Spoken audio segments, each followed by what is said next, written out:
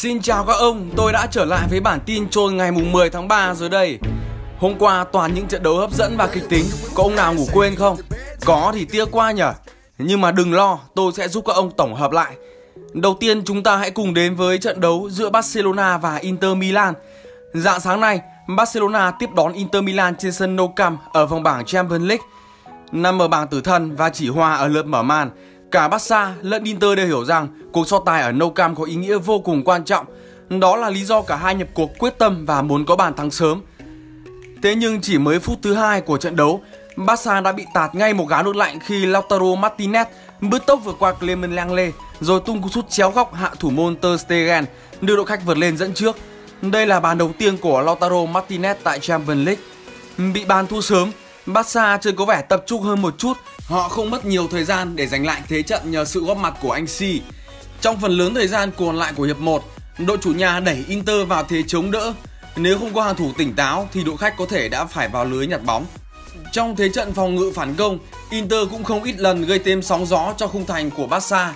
Trong một ngày trở về nhà cũ, Alexis Sanchez cũng chơi khá hay, nhưng anh không thoát được sự đeo bám của Nelson Semedo.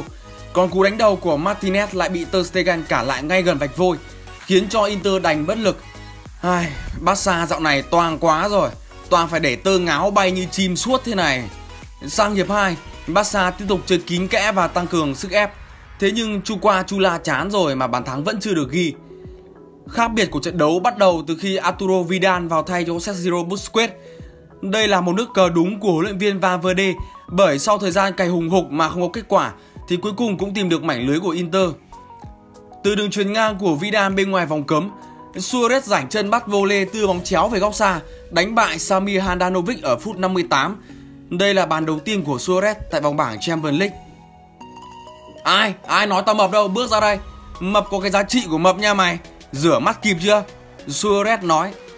Trong khi Suarez và Messi vẫn đóng vai trò quan trọng trên hàng công, thì con hàng 135 củ Antoine Griezmann tiếp tục chơi mờ nhạt. Hồi thi đấu cho Atletico Madrid sắc đến đâu thì đá cho bà xã lại cùn đến đó.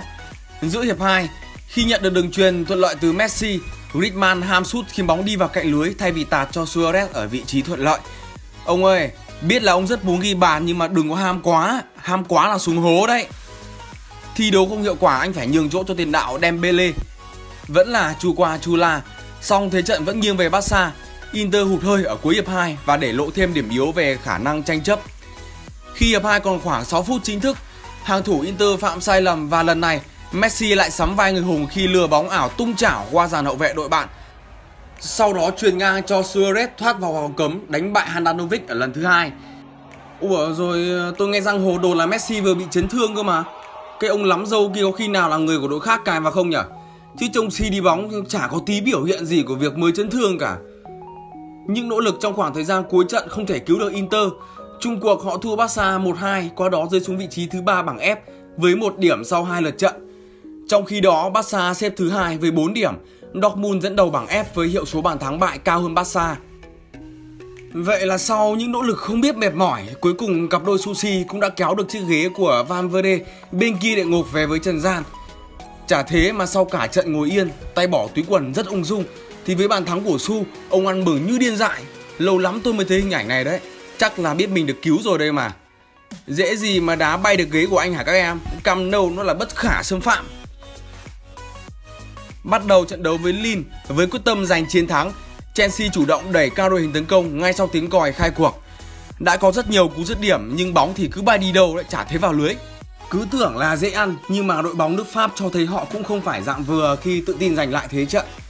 Phút 20, Abraham tự tặng quà sinh nhật lần thứ 22 của mình sau pha nhận bóng trong vòng cấm và dứt điểm gọn gàng tung lưới Lin.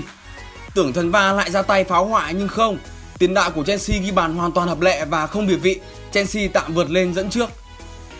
Thế nhưng chỉ 10 phút sau, Lin đã có bàn gỡ hòa từ một tình huống phạt góc. Osimhen bật rất cao như một vị thần giữa vòng vây toàn các cầu thủ của Chelsea để đánh đầu ghi bàn thắng cho đội bóng Pháp. Cuối hiệp 1, Chelsea có thêm hai cơ hội ngon ăn, thế nhưng Alonso lại hóa gỗ, sút phạt hỏng còn Jorginho thì bị thần may mắn quay lưng khi dứt điểm kỹ thuật nhưng bóng dội cột dọc ra ngoài. Hiệp 1 kết thúc với mỗi bên có một bàn làm vốn. Sau giờ nghỉ giải lao, Chelsea chủ động gia tăng sức ép nhưng thầy trò huấn luyện viên Lampard gặp rất nhiều khó khăn trước sự chắc chắn và an toàn đến từ Lin. Cứ tưởng là hai đội sẽ chia nhau một điểm rồi cơ. Nhưng rồi sau nhiều nỗ lực, giờ Blue phút 78, Chelsea đã có bàn thắng vượt lên. Hudson Odoi tạt bóng chuẩn xác từ cánh trái để William tung cú volley đập đất đánh bại thủ môn Meinan. Những phút còn lại dù rất nỗ lực, Lin vùng lên tìm kiếm bàn gỡ nhưng đã quá muộn. Trận đấu khép lại với chiến thắng dành cho Chelsea. Đây là trận thắng đầu tiên của Lampard tại Cúp C1 trên cương vị huấn luyện viên. Phải làm khách trên sân của Slavia, Dortmund gặp khá nhiều khó khăn khi Slavia không ngần ngại thi đấu song phẳng với đội bóng Đức. Cứ sau một pha tấn công của Dortmund thì Slavia lập tức đáp trả bằng tình huống tương tự. Thậm chí những pha lên bóng của đội chủ nhà lại có phần sắc nét hơn. Phút 21, Stankill thực hiện đường chọc khe thông minh, loại bỏ hàng thủ Dortmund tạo điều kiện cho Masuput thoát xuống nhưng không thể đánh bại thủ môn Berkey trong pha đối mặt. Hai đội tiếp tục giằng co với một thế trận vô cùng cởi mở.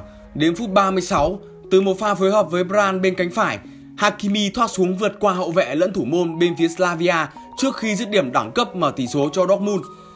Bước sang hiệp 2, Slavia bất ngờ đẩy cao đội hình nhằm tìm kiếm bàn thắng gỡ hòa.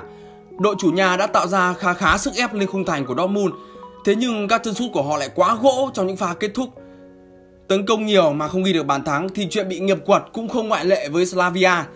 Phút 89, một lần nữa, Hakimi có pha thoát xuống bên cánh trái trước khi tung ra cú sút dứt điểm góc hẹp, ấn định tỷ số 2-0 cho Dortmund. Với chiến thắng này, Dortmund đã có được 4 điểm sau 2 trận và tạm vươn lên dẫn đầu bảng F Cúp C1 mùa giải năm nay. Tiếp theo, chúng ta hãy cùng ghé thăm người em trai láng giềng Thái Lan – Mới đây trong quá trình chuẩn bị cho SEA Games 2019, Liên đoàn bóng đá Thái Lan FAT đã gửi lời mời đến một số quốc gia, trong đó có Việt Nam và UAE để giúp đội tuyển U22 nước này có cơ hội cọ sát trước thềm giải đấu quan trọng trên đất Philippines. FAT đã lên lịch giai hữu vào ngày 11 hoặc là 14 tháng 10. Thế nhưng mà nhà các anh cả đều bận rộn rồi.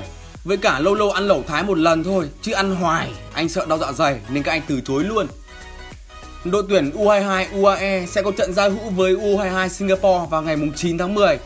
Đến ngày 13 tháng 10, họ cũng có một trận giao lưu tâm sự mỏng với U22 Việt Nam trên sân vận động thống nhất.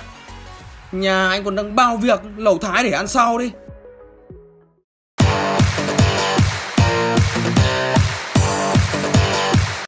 Tiêu điểm Dạng sáng ngày 3 tháng 10, Liverpool tiếp đón RB Salzburg trên sân nhà Anfield ở lượt trận thứ hai vòng bảng Champions League ngay trong hiệp 1, thế trận một chiều đã được Liverpool áp đặt. Lần lượt Sadio Mane, Andy Robertson và Mohamed Salah đã giúp đội chủ nhà dẫn trước 3-0 sau 36 phút. Nhưng tưởng Liverpool sẽ có một chiến thắng dễ dàng trước đội bóng bò húc. Thế nhưng trước giờ nghỉ, cầu thủ Hoàng Hee-chan người Hàn Quốc từng đối đầu với Olympic Việt Nam tại bán kết ASEAN 2018 đã có pha xử lý đẳng cấp biến Van Dijk thành một gã hề ngay giữa Anfield rồi dứt điểm tung lưới thủ thành Andrian giúp ngắn tỷ số cho Salzburg. 2018 thì qua số 4 của Việt Nam, 2019 thì qua số 4 của Liver. Thế nhưng Hoàng Hy Chan vẫn chưa thể ghi bàn vào lưới của Việt Nam được đâu. Sang hiệp 2, Hoàng Hy Chan lại tiếp tục để lại dấu ấn. Phút 56, anh có pha tạt bóng từ cánh trái cho Minamino bắt vô lê giúp ngắn tỷ số xuống còn 2-3, thắp lên cơ hội có điểm cho Salzburg.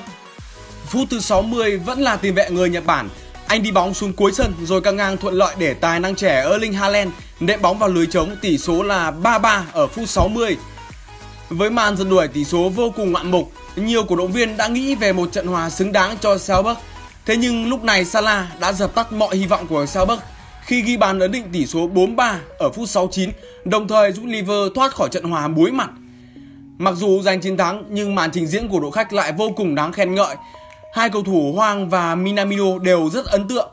Theo Husko, hai cầu thủ này được chấm cùng số điểm 8.2 cao nhất bên phía đội khách.